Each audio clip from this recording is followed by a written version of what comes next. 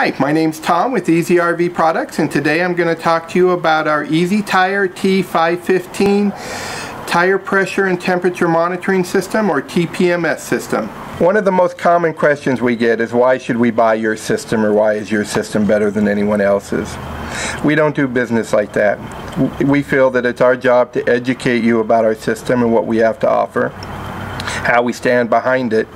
And then we invite you to go out and shop the competition. Then you'll understand why the EezTire TPMS system is the system of choice. We offer one of the largest monitors on the market when it comes to TPMS systems. We offer a full screen, three and a half inches.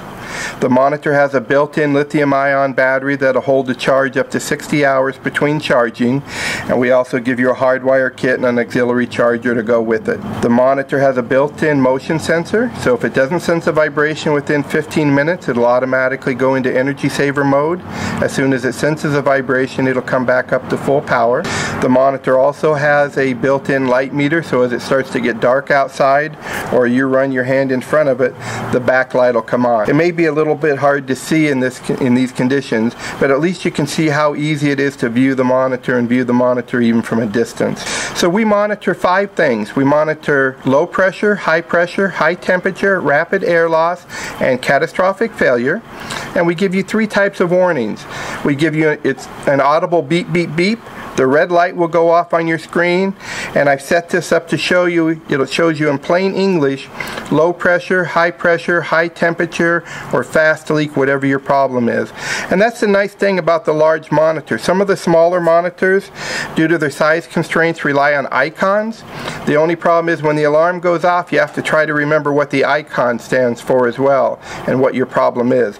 This way you're going to know just by glancing at the screen what your problem is. The system will monitor up to 22 two tires, so the configuration will look exactly the way your rig is configured. It can show your front axle, your dual axle. If you had a tag axle, you could show one uh, tire on each side here. And if you had a towed or a trailer, or if you have a big rig, it's going to be set up to show exactly how your trailer is configured or your towed is configured. And as you can see by the numbers on the screen, I programmed four tires into this one so you can see how the screen actually operates. The system every six seconds will cycle from tire to tire and as that tire flashes it's going to show you the pressure in the box on the left and the temperature on the box on the right. And as it cycles to the next tire it'll show you that. So it's continually monitoring your tires so at any time you can just look up at the screen and see how your tires are going. It also gives you the capability of cycling from tire to tire by using your plus or minus keys and so you don't have to wait for a full cycle to go through. Some of the other nice features uh, of our system is we offer both a flow-through sensor and an anti-theft sensor. You have your choice between the two or you can actually mix and match and combine the two sensors on your rig. The flow-through sensor are two and a half inches long and you can see that you don't have to remove the sensor to, in order to check your tire pressure to put air through here. You can just fill it through the sensor. Our anti-theft sensor you install it using the small wrench here you put it onto the tire, and if someone tries to steal it, it's just going to spin in their hand. My personal preference is always, has always been the anti-theft sensor. Um, the reason being it's one inch compared to two and a half inches. In terms of operating, they operate exactly the same. They interact with the monitor exactly the same. The biggest complaint with the flow-through sensors are you have to think now you've got three valves you're going through. You've got two Schrader valves and an internal valve here. And unless you have a compressor with good continuous flow, these can be a slow fill sometimes, and that's the major complaint with these. Other than that, they operate the same. I definitely never recommend a flow-through sensor on any type of towed vehicle or standard trailer for the fact that they'll stick out past the rim, and if you happen to clip a curb on a tight turn, you risk damaging the sensor or your valve stem. The other nice thing about our anti-theft sensor is this is a competitor's anti-theft sensor. This is our anti-theft sensor. These have a battery rating typically of one to two years. We use a high efficiency German IC board which allows us to reduce the size of our sensor by about a third but it's also rated to a three to four year battery life. With your system we give you three types of mounts. We give you this suction cup mount that can go on your windshield or your dash. We give you a low profile mount that you can put in any of the holes on the back and adjust the angle. And this is actually the mount that I use and I just put a piece of Velcro on the back and it just sits on the dash like that. And we give you this fixed mount that you can bolt down and using the articulating head from the suction cup mount, you can still put the bolt it down and still pivot the head of the, or the monitor to adjust it to your need. A lot of people will just put Velcro on the back as well and if they have a blind spot or a blank spot on their uh, dashboard, they'll just stick it to the dashboard using the Velcro. All of our sensors have replaceable batteries. It's a standard CR1632 battery that you can pick up at Walmart at your jewelry counter or the best place to get them is on Amazon. That's the easiest to get them. And to change a battery, it's very, very simple. I'm just going to remove the anti-theft housing from the sensor. This is what the actual sensor looks like itself. I just place it into the to the wrench the reverse way and I twist it off and hopefully you can see this. This is the battery in here. And all you do is just push the battery out install the new one. There's a little o-ring in here and I just place the cap back on like that. Now one of the questions that some people say is well I don't want to use the anti-theft housing. It's a pain in the rear. It's hard for me to get the wrench in there.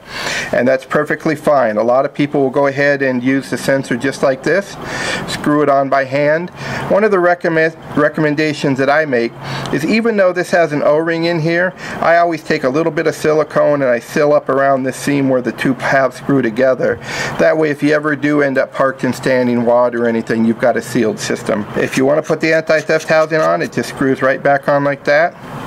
And that's it.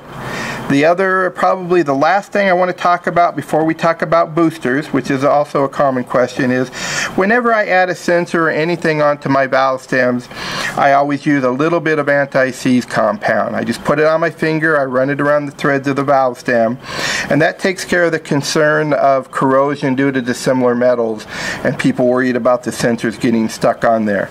We do use uh, brass inserts to minimize the, uh, the risk of any corrosion in there, but it's just a good practice to use a little bit of anti-seize compound. And lastly, we're going to talk about boosters. In the past, we used to recommend boosters at about 53 feet. And that what a booster does is it amplifies the signal from all of your sensors and retransmits it to the monitor. And so in, if you ever get any drop off or you lose a signal from your furthest tires, the booster compensates for that. Nowadays, with some of the big diesel uh, pushers, there's so much electronics going on back in the engine compartment that you can get interference even on tires that are closer on your inside duals or your outside duals and a booster uh, will overcome that interference. A booster is an optional item. They typically run $49 and all they do is they mount in your aft compartment or some people put them in their closet and it's just a hot lead in the ground and it just wires into your compartment or closet light.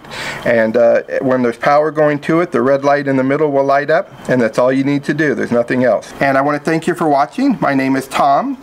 I handle the tech support for our EezTire TPMS systems and always feel free to contact us with any questions you have about our systems.